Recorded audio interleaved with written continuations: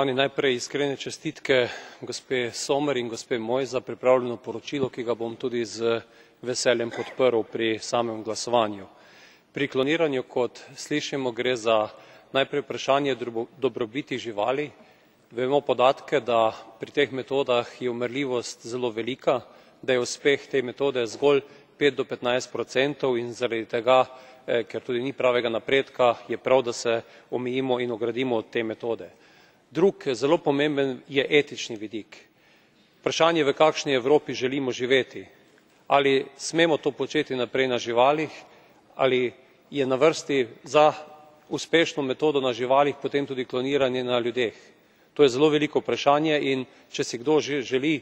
uspešno kloniranje pri živalih ne vem kdo si želi uspešno kloniranje pri ljudeh in to kot neka javna metoda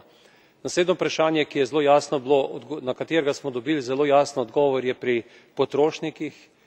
pri evropejcih ki zavračajo po eni strani metodo kloniranja na drugi strani uporabo izdelkov produktov se pravi mesa iz kloniranja in zahtevajo jasno označevanje teh proizvodov.